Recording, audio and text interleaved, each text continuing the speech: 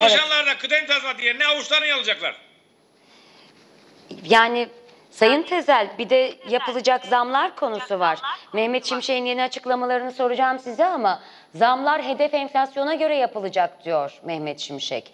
E şimdi hedef enflasyonu gördük biz orta vadeli programda.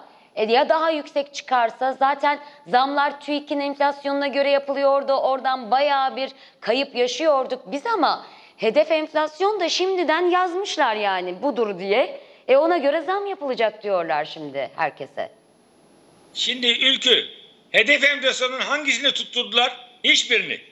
Yaklaşık 20 yıldır Merkez Bankası'nın açıkladığı hedef enflasyona ulaşma şansımız hiç olmadı. Hı hı. Bundan sonra da olma şansı yok. Bu şu demek emeklere de TÜİK'in bile yaptığı enflasyon kadar zam yapmayacağız demek. Evet. Hani diyorlar diye emeklileri enflasyona ezdirmeyeceğiz diye. Emeklileri enflasyona ezdireceğiz diyorlar. Açıklaması bu. Hani yine sen haberinde verdin. Ee, sormuşlar Cumhurbaşkanı Yardımcısına 7500 lira emekli maaşlara zam var mı diye. Evet. Yine söylüyorum Ocak ayında 10 bin lira yaparlar.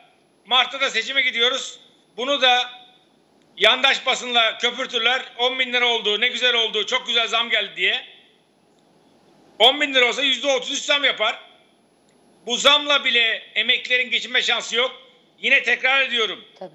Bu hükümetin 2008 yılında yaptığı sosyal güvenlik reformu denilen 5510 sayılı kanun olmasaydı şu anda en düşük SSK ve Bağkur emekli aylığı 15.000 TL olacaktı. Demin bir sosyal medyada birisi bana sormuş. Babam ömür boyunca tavandan prim ödedi. 99 yılında emekli oldu. Şu anda 14 bin lira maaş alıyor diye. Ben de cevap yazdım. 2008 reformu olmasaydı Evet. şu anda 25 bin lira alacaktı. Reisimize şükret dedim. Ya Ee, peki Sayın Tezel şimdi siz de vurguladınız. İyi Partili bir milletvekili soruyor. Cumhurbaşkanı yardımcısına 7500 lira meselesini. Sorular da güzel. Diyor ki e, emekli aylıklarını yeniden göz geçirmeyi ve zam yapmayı düşünüyor musunuz? Bir çalışmamız var mı? Ülkemizde kaç adet emeklimiz 7500 lira ve bu rakamın altında emekli maaşı almaktadır? E, bu da açıklansın isteniyor. Diyor ki 14 milyon. 14 milyon. Emeklilerin kaçta kaçı ediyor? Yaklaşık %70'i 70'i o, 25 alıyor. Yani fakirlikle eşitlendiler. Evet %70'i emeklilerin 14 milyon kişi çok yüksek bir oran 7500 lira alıyor.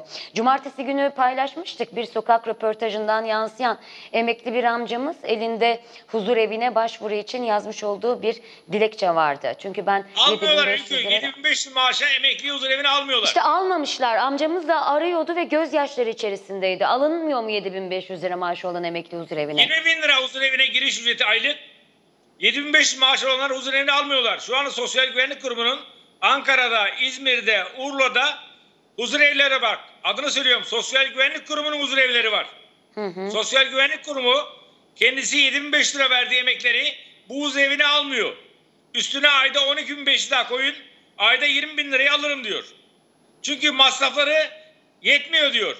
Peki aynı Sosyal Güvenlik Kurumu kendi huzur evine almadığı bu kişilerle 7500 lira maaşla geçin diyor.